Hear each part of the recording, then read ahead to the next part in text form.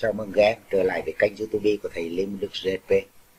Lời đầu tiên thì chúc các em luôn gặp nhiều may mắn, sức khỏe và có nhiều niềm vui trong cuộc sống và trong học tập.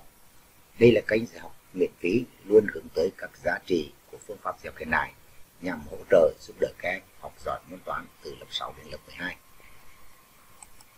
Hôm nay chúng ta tiếp tục học bài số 12 là bài cuối cùng của chương 1 số hữu tỷ số thực. Sau khi học xong bài này, thầy sẽ giúp các em nắm vững khái niệm về số thực và tập hợp số thực và tính thứ tự các phép toán và quan hệ bao hàm trên tập hợp số thực. Bây giờ chúng ta vào học bài mới.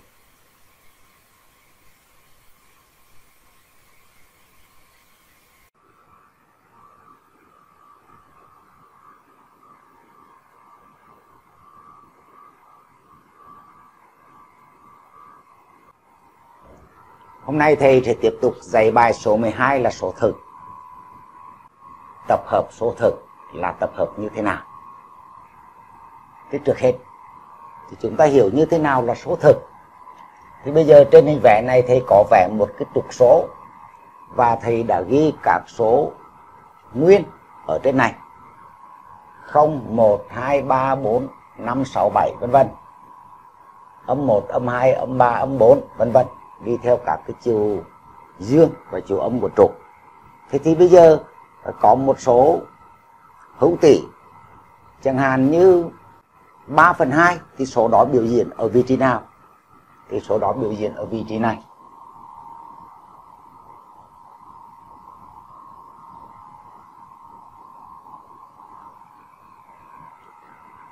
Bây giờ thầy sẽ hướng dẫn các em biểu diễn một số vô tỷ ở trên trục số này biểu diễn như thế nào.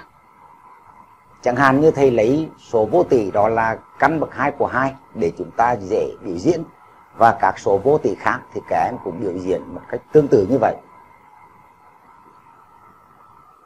Trước hết, thầy biểu diễn số vô tỷ là căn bậc hai của hai trên trục số thì thầy sẽ bắt đầu dừng một hình vuông. Có đỉnh thứ nhất là điểm biểu diễn số 0 điểm thứ hai là biểu diễn số 1 và cái đỉnh thứ ba của hình vuông là nằm ở vị trí này. Và đây là đỉnh thứ tư. Như vậy, thầy đã dừng xong hình vuông, có cạnh bằng một đơn vị. Thế thì các em biết rằng, để tính cái độ dài đường chéo này, thì đường chéo này bình phương sẽ bằng một bình phương cộng một bình phương vậy đường chéo này bình phương sẽ bằng 2 vậy thì từ đây ta biết rằng đường chéo này sẽ có độ dài bằng căn bậc 2 của 2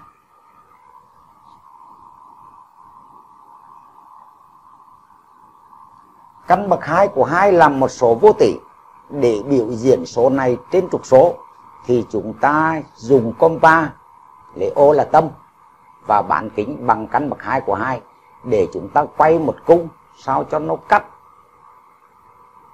trục OX tại một điểm thì đó chính là số vô tỷ căn bậc 2 của 2 biểu diễn trên trục số. Bây giờ các em xem thì thực hiện như sau.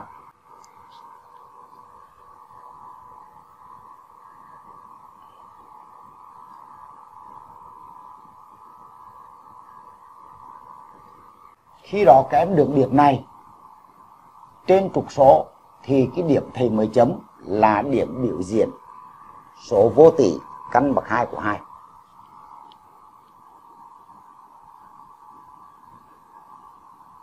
Nếu các em sử dụng máy tính thì các em bấm trên máy tính căn bậc hai của hai nó sẽ tính ra cho các em đó là một số thập phân vô hạn không tuần hoàn 1,41 chấm chấm chấm. Như vậy thì rõ ràng rằng trên trục số này chúng ta có thể biểu diễn các số tự nhiên, các số nguyên, các số hữu tỷ và các số vô tỷ thì cái trục số mà để biểu diễn các số như vậy thì người ta gọi đây là trục số thực. Và các số mà thầy vừa rồi nói với các em như vậy, đó là các số thực. Từ đây chúng ta có một cái kết luận như sau. Đó là trên trục số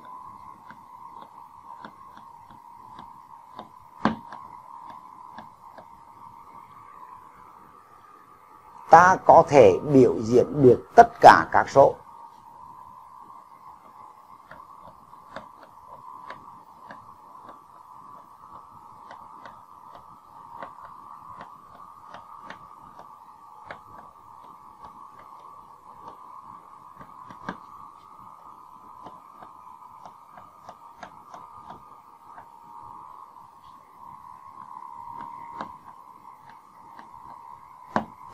Đó là số hữu tỷ và số vô tỷ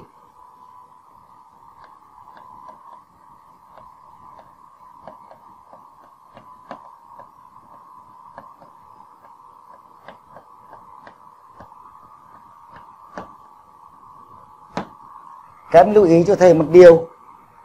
Số hữu tỷ có dạng a trên b b khác không?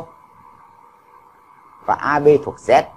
Cho nên các số nguyên này cũng là các số hữu tỷ bởi vì số nguyên thì có mẫu bằng một. À, và khi đó tập hợp số hữu tỷ và số vô tỷ như thế này này người ta gọi là tập hợp số thực. Khi đó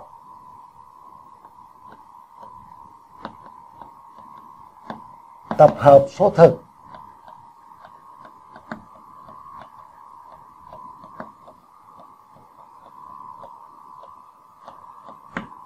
với tức ký hiệu.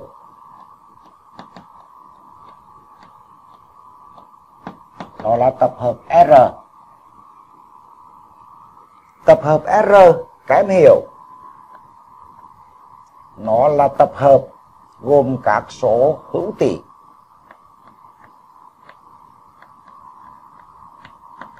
và các số vô tỷ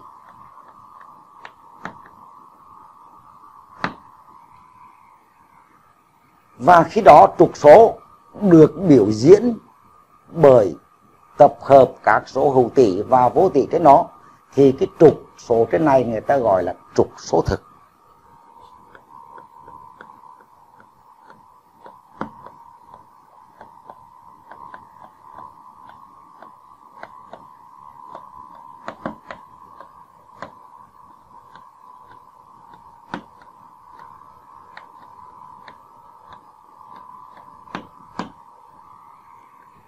Và nếu ở trên trục số thực này, thì lấy một điểm bất kỳ. Chẳng hạn như vị trí này. Thì cái điểm này bao giờ cũng biểu diễn được một số thực nào đó. Có nghĩa là, các em hiểu, nếu các em dùng một lưỡi dao rất mỏng mà các em chắn trên trục số này, thì khi đó lưỡi dao bao giờ cũng chạm một số thực nào đó các em hiểu như vậy. Bây giờ ngược lại.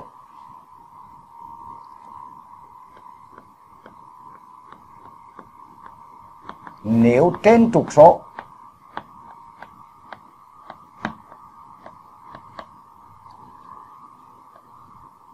ta chọn một điểm.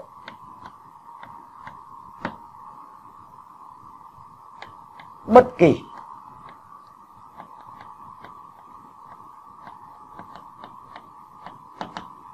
thì điểm đó.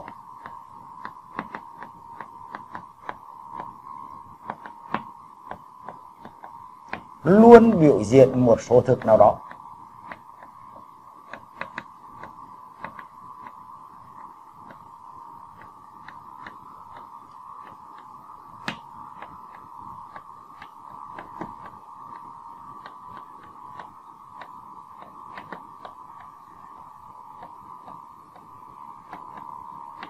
Nói tóm lại là trên trục số thực này không có một khoảng hở nào cả. Tức là nó dày đặc. Mà người ta thường gọi là trụ mật được em trụ mật có nghĩa là nó dày đặc lắm. Thế bây giờ thầy sẽ mô tả cái mối quan hệ giữa các số kém đã học ở trên cái biểu đồ sau đây người ta gọi là biểu đồ ven. Thứ nhất là kém có một tập hợp số tự nhiên n tập hợp số tự nhiên n là một tập con của tập hợp các số nguyên z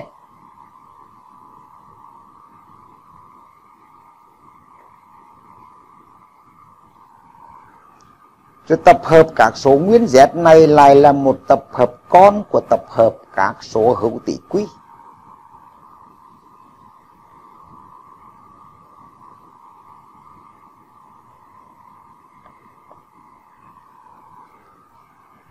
Thế thì tập số thực được định nghĩa là tập hợp gồm các số hữu tỷ và vô tỷ.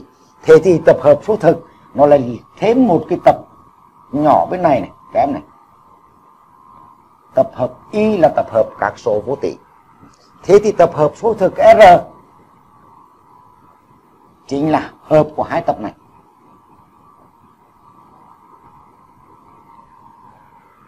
Vậy từ đây chúng ta có một mối quan hệ giữa tập con như sau. N là tập con của tập Z. Z lại là tập con của tập Q. Và Q lại là một tập con của tập hợp số thực. Và từ nay trở đi, chúng ta sẽ học số ở trên tập hợp số thực như vậy là thầy đã hướng dẫn cho các em hiểu như thế nào là tập hợp số thực rồi. Bây giờ chúng ta đi vào một cái mối quan hệ, đó là so sánh hai số thực. Thì làm thế nào và các phép toán trên số thực thì làm thế nào? Hai nhỏ là so sánh hai số thực. Thì hai số thực ừ, khi biểu diễn trên trục số thì có thể hai số nó trùng nhau thế này các em đây cũng là số A mà đây cũng là số B. Thì như vậy ta nói là số A và số B bằng nhau.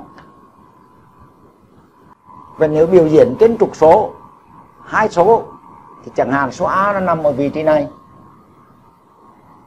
số B nó nằm vị trí này, thì ta nói là số A nhỏ hơn số B. Hoặc là ta có thể nói là số B lớn hơn số A.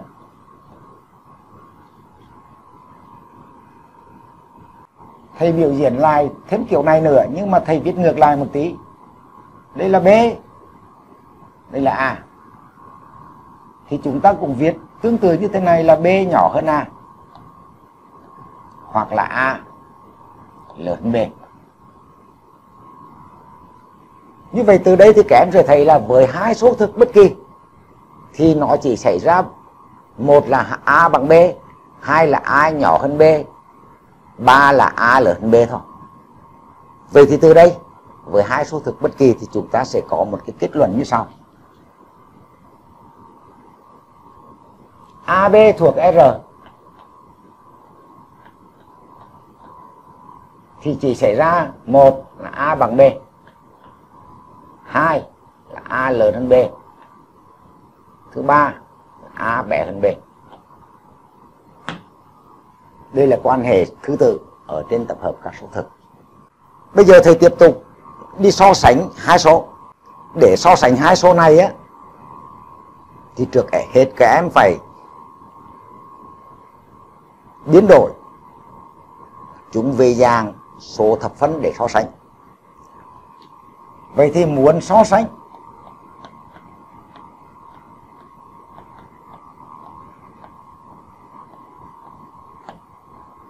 hai số thực.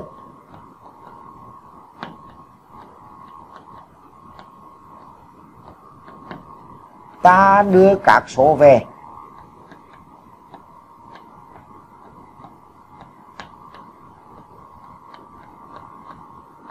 Số thập phân.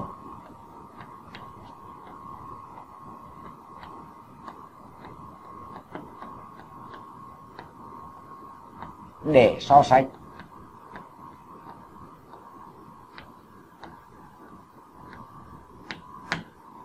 Ngoài cách này thì chúng ta còn rất nhiều cách nữa. Những cách đó chúng ta sẽ học ở những chương trình sau. Bây giờ trước hết kém so sánh cho thầy hai số là căn bậc 2 của 3 và 6,932 chia cho 4 thì trước hết các em làm như sau. Các em dùng máy tính và các em sẽ thực hiện một phép tính căn bậc 2 của 3 nó sẽ bằng. 1,732 chấm chấm chấm. Đây là một số thập phân vô hạn không tuần hoàn. Các em nhìn vào tỷ số ở đây thì các em sẽ thấy rằng vì mẫu là 4 cho nên đây là một số thập phân hữu hạn. Ta tính tiếp. 932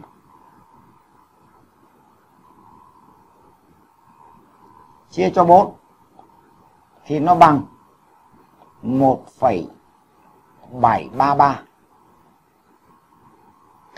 thế thì dựa vào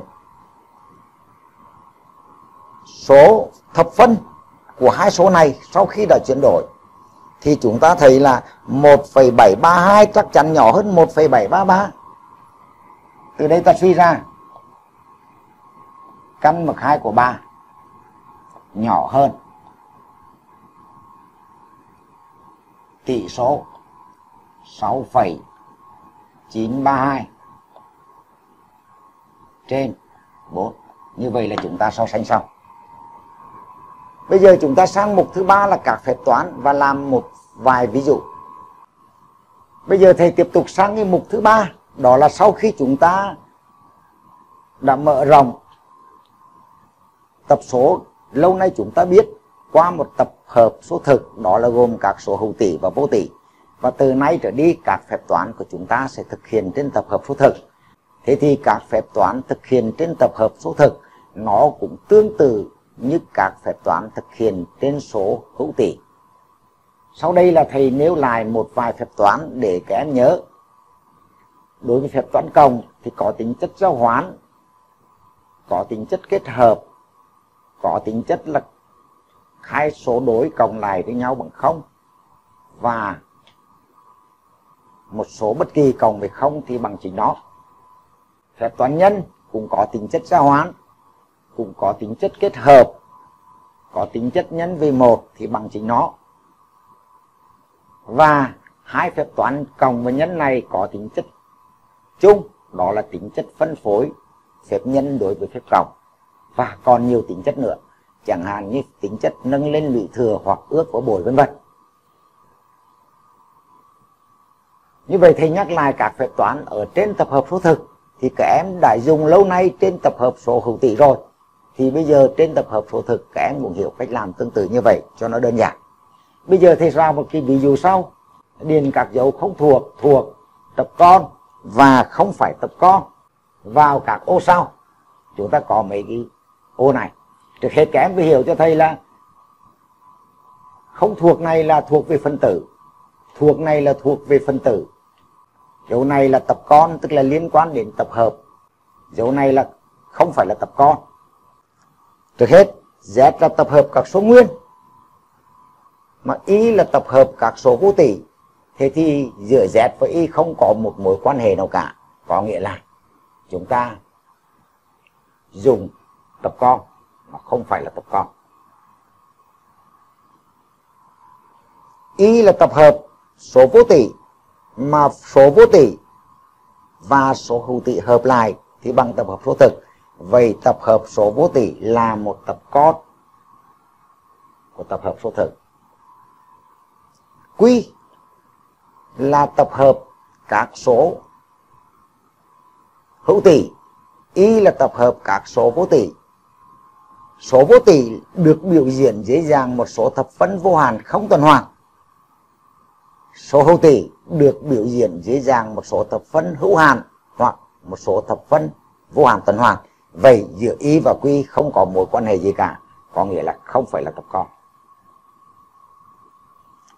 Bây giờ qua phân tử qua phân tử thì số 5 nó có thuộc Z không? Thuộc. Dùng ký hiệu của phân tử. Số trừ 2 có thuộc quy không? Thuộc. Vì số trừ 2 thuộc Z mà Z là tập con của quy. Do đó, số trừ 2 thuộc quy. Số căn 2 này là số vô tỷ mà số vô tỷ thì không thể thuộc tập hợp số hữu tỷ được. Vậy đây không thuộc.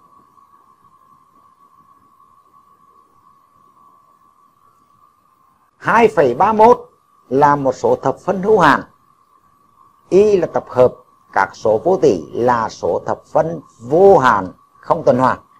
Vậy 2,31 không thuộc tập hợp số vô tỷ y.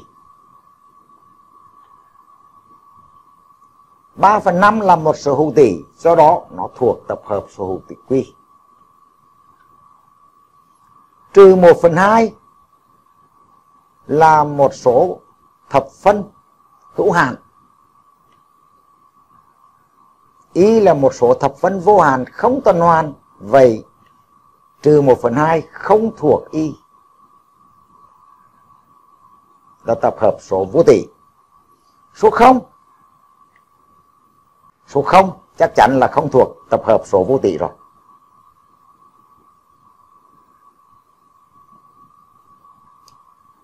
Bây giờ qua số cuối cùng là số này viết theo chu kỳ 6 là 7 với chu kỳ 6 đây là một số tập phân vô hạn tuần hoàn. Có chu kỳ là 6 nó thuộc tập hợp số tỷ, cho nên nó thuộc tập hợp số thực.